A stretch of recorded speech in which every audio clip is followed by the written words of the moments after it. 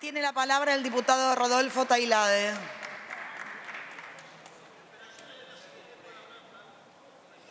Diputado Tailade. Sí, gracias, presidenta. Buen día. Eh, es una cuestión de privilegio, presidenta, contra el diputado Fernando Iglesias. Eh, no tiene nada que ver con, su enriquecimiento, con la causa penal, es una cuestión que se tiene que arreglar con el fiscal ahora que lo imputó. Eh, tampoco tiene que ver con que ha trabajado 45 años en el sector privado, como viene diciendo por los medios de comunicación, y resulta que el departamento de 100 metros cuadrados se lo compró en 2019 cuando era diputado nacional del macrismo, no con los 45 años del sector privado que trabajó. Pero todo eso lo voy a dejar, señora presidenta, de, lado, porque la cuestión de privilegio tiene que ver con algo que nos, contra él, tiene que ver con algo que nos involucra a todos los diputados. Y que, mm, eh, y, la verdad que tiene que ver que, con, que el, con que el diputado Iglesias ha puesto en crisis eh, la legitimidad del ejercicio de nuestro cargo porque ha incurrido en un claro abuso de las prerrogativas que tenemos como diputados nacionales. Y, nos afecta a todos eso, Presidenta, en un, momento en que tenemos que ser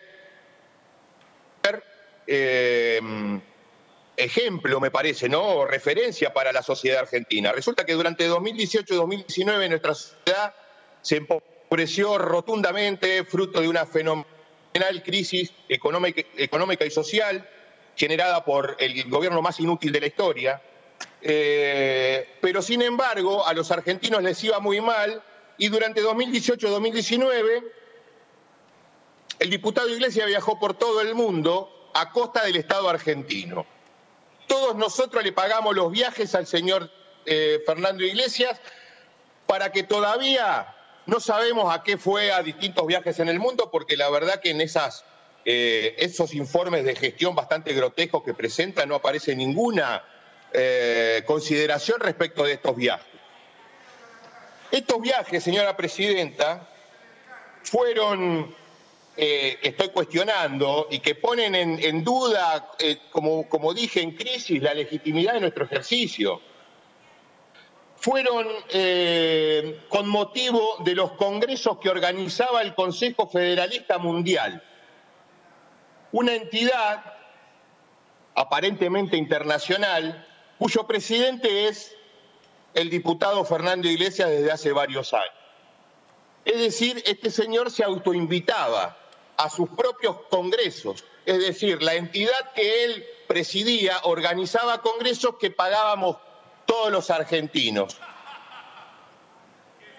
Le digo que organizaban congresos. Yo no encontré ningún eh, informe ni ninguna, salvo una foto de Japón. Después los otros viajes no encontré ninguna, ninguna, absolutamente ningún elemento que me permita a mí afirmar que efectivamente existieron los congresos de esto. Pero bueno, eh, son tres viajes que quiero, son muchos más, pero los tres, los viajes que, estoy, sobre los que estoy planteando la cuestión de privilegio, tiene, uno es del 22 al 28 de febrero del año 2018 a, Estados, a Nueva York. Eh, los viáticos que le pagó la Cámara de Diputados fueron 1.416 dólares. En 2019, también en febrero, 21 a 27, también Nueva York, cinco días, 1.770 dólares. Y finalmente, en, eh, del, 20, del 20 de, de, mayo al 3 de junio, viajó a Brasilia primero y luego varios días a Japón para el Congreso este y en esa oportunidad se le liquidaron viáticos por 3.890 dólares al diputado Iglesias, lo cual en estos tres viajes estamos hablando de un total de 7.076 dólares, señora presidenta, que estamos hablando de más de un millón de pesos en viáticos. 7.076 dólares implican más de un millón de pesos en viáticos para que este señor recorriera el mundo. Vaya a saber para qué, vaya a saber para qué.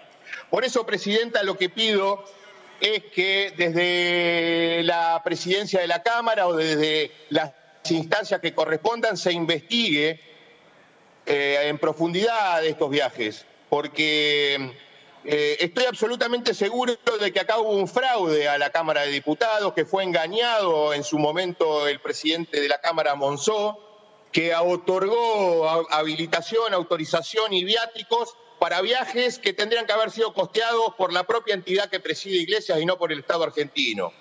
Esto, señora presidenta, como digo, pone en crisis nuestra representatividad, el ejercicio de nuestro cargo y nos pone eh, en un dilema frente a la sociedad, sobre todo gente que, por ejemplo, yo, y estoy seguro que la inmensa mayoría de los diputados no hemos viajado a ningún lado a costa del Estado argentino.